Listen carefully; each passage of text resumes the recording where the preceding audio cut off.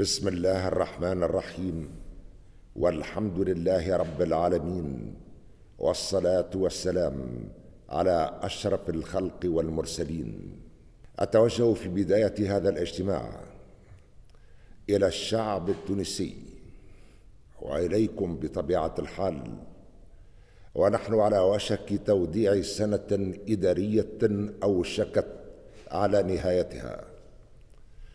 واستقبال أخرى جديدة بأصدق التمنيات بأن يكون العام المقبل سنة خير ويمن وبركة ورخاء وسلام.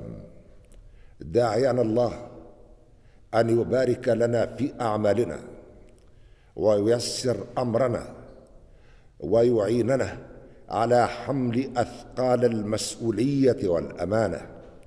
وأن يحفظ وطننا وكرامة مواطنينا ومواطناتنا. وعزة وطننا ستبقى دائما حاضرة في عقولنا وفي وجداننا وفي كل خطوة نخطوها وفي كل عمل نسعى إلى تحقيقه.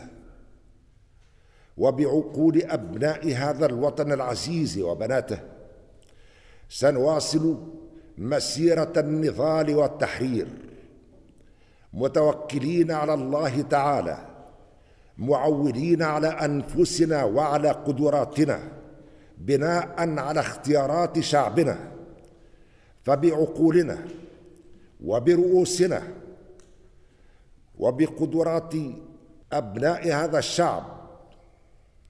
سنبني إن شاء الله مستقبلا أفضل بكثير مما تحقق. سنصل إلى تحقيق آمالنا وأحلامنا وآمانينا. وفي هذا الوقت الذي أتوجه فيه إلى شعبنا العظيم بأخلص التمنيات لا يمكن أن يغيب عنا بل لا يمكن أن يغيب عن أحد من أحرار العالم. العدوان الوحشي الهمجي الصهيوني على شعبنا في فلسطين السليمة. اننا من منطلق قناعاتنا الراسخة نفعل كل ما نستطيع للوقوف إلى جانب أشقائنا في فلسطين السليمة. وأننا على يقين من أن النصر ات بالرغم من أن قلوبنا تعتصر كمدا وألما. على يقين من أن فلسطين ستتحرر كلها وسيقيم الشعب الفلسطيني على أرضه دولته المستقلة وعاصمتها القدس الشريف. أولى القبلتين وثالث الحرمين الشريفين.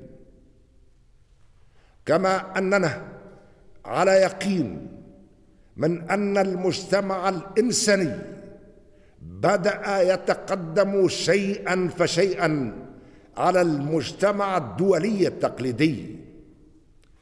وسيستمر العالم كله في قادم العقود في هذا الاتجاه وستتغير الكثير من المفاهيم ومن التوازنات.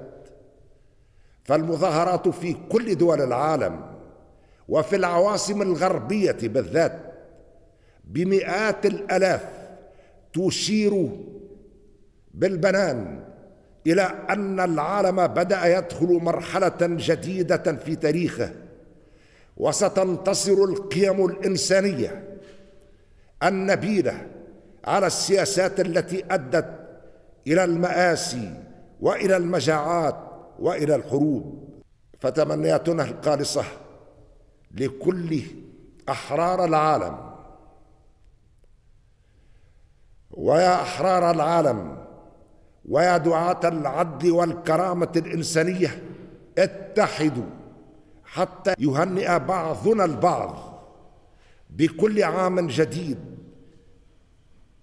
وقد بدأت تتهاوى كل أشكال الاستبداد وتتهاوى معها الصهيونية والعنصرية وكل أشكال الهيمنة والاستعمار.